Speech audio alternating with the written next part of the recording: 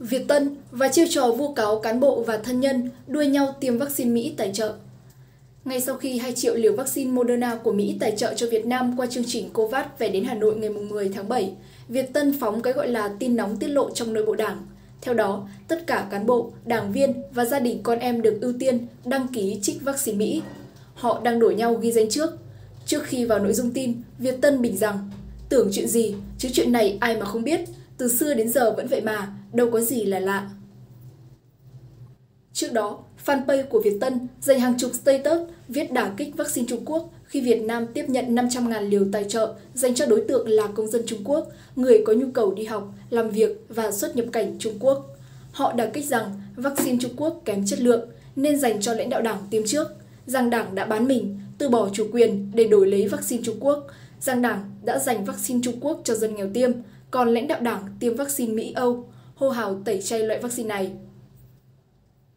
Thực tế, cùng buổi sáng tiếp nhận 2 triệu liều vaccine trên, Bộ Y tế Việt Nam đã công khai thông tin, Bộ trưởng Bộ Y tế Nguyễn Thanh Long đã chỉ đạo chuyển khẩn cấp 1 triệu liều vaccine COVID-19 Moderna trong số 2 triệu liều vừa nhận nêu trên để hỗ trợ thành phố Hồ Chí Minh chống dịch. Người đứng đầu chính phủ, ông Phạm Minh Chính, trong chuyến kiểm tra đôn đốc và làm việc với thành phố Hồ Chí Minh về công tác phòng chống dịch COVID-19, duy trì sản xuất kinh doanh chiều ngày 11 tháng 7 đã khẳng định nhiều cơ quan báo chí dẫn.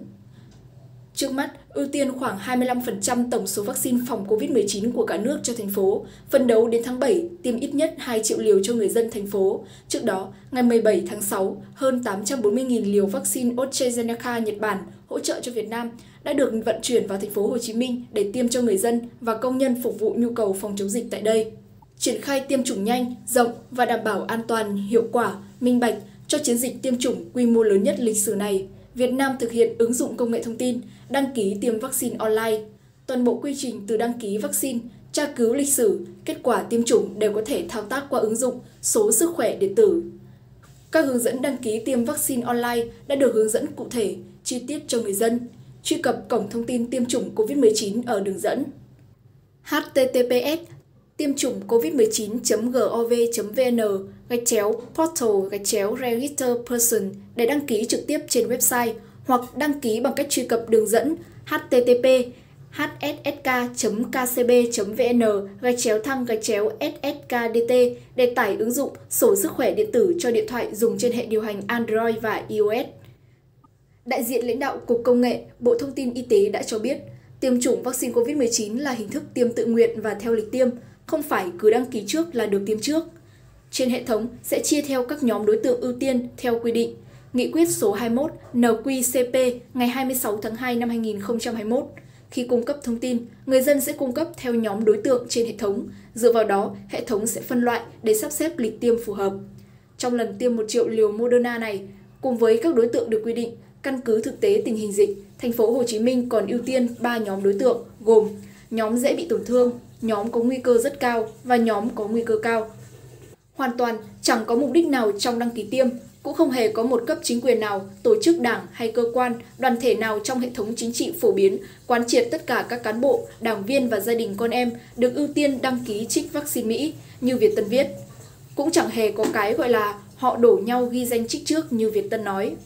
Gần đây, khi cộng đồng mạng phát hiện trường hợp cháu một giảng viên học viện quân y được tiêm ké liều vaccine còn dư sau buổi tiêm chủng, lập tức Việt Tân tung cả tá bài viết xuyên tạc, những kẻ cầm quyền không vì nhân dân, ưu tiên trích vaccine cho cán bộ trước, những người ở tuyến đầu là tin có thật. Công bằng và bình đẳng trong tiếp nhận vaccine thực tế chỉ là khẩu hiệu mị dân, đòi phải bỏ tù cán bộ này. Việc cán bộ sai phạm, tham nhũng vặt, con sâu làm dầu nối canh là khó tránh. Cũng như vụ bánh mì không phải là thực phẩm thiết yếu ở Khánh Hòa đã được xử lý kịp thời, nhân văn trong vụ việc sai phạm này. Quan trọng là việc chính quyền sẽ điều tra và xử lý sai phạm đó như thế nào. Truyền thông đã vào cuộc, lãnh đạo, tập thể đơn vị ưu tiên tiêm cho cháu giảng viên nói trên đang bị kiểm điểm, xác minh và khi điều tra rõ ràng, chắc chắn sẽ có hình thức xử lý thích đáng. Ngày 21 tháng 7 năm 2021, gần 100 tiểu thương kinh doanh hàng thiết yếu ở chợ trung tâm thành phố Thái Nguyên đã được tiêm vaccine của Mỹ, ngay trong khi hàng ngàn cán bộ, lực lượng vũ trang địa phương đang còn phải xếp hàng chưa được tiêm. Từ khi dịch bệnh bùng phát ở các tỉnh phía Nam, thì dư luận đều thấy rõ, ngày ngày Việt Tân và đám kền kền đội lốt đấu tranh dân chủ trong ngoài nước đua nhau xuyên tạc, tung tin giả, bịa đặt hoặc khai thác triệt để những sơ hở, thiếu sót, sai phạm đơn lẻ rồi thổi phồng thành bản chất chế độ, chia rẽ người dân với chính quyền. phủ nhận nỗ lực phòng chống dịch của nhân dân và chính quyền các cấp. Những chiêu trò xuyên tạc bị ổi, vô liêm sỉ khi cả dân tộc đang vật lộn với dịch bệnh, càng bóc trần bộ mặt phản nước hại dân của chúng.